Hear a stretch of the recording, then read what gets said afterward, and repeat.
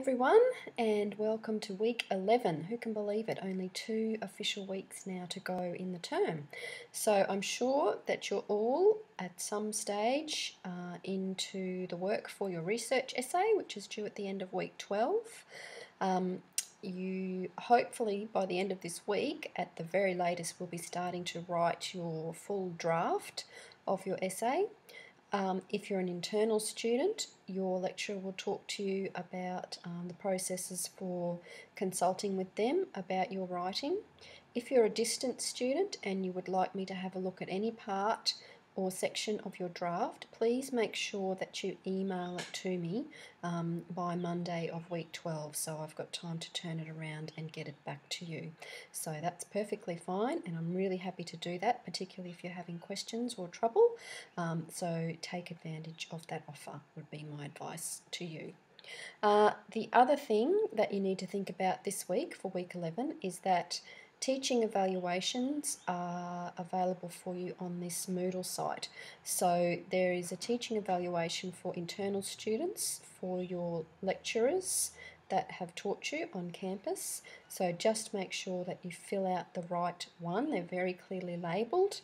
Um, distant students I would really um, love it and encourage you to fill out the teaching evaluation that's uh, for me as your distance lecturer. Uh, it only takes a few um, a few minutes and everything that we get back from you in terms of evaluations uh, is really valuable to us in terms of um, improving the quality of what we do for our, our students in the future.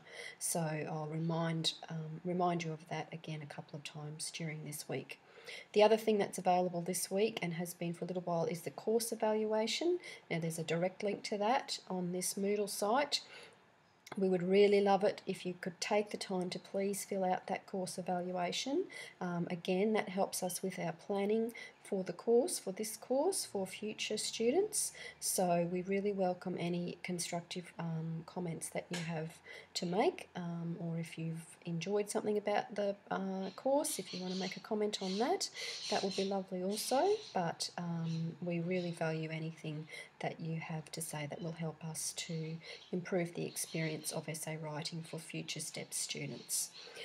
The other thing is assessment 5, which is the reflective composition, uh, is not due at the end of week 12, May 25. It's due on June the 1st, which is week 13, if you like. So please do not be stressing about that this week. Next week I'll deal with that in some more detail and point you to some resources for that. That is a very small assignment.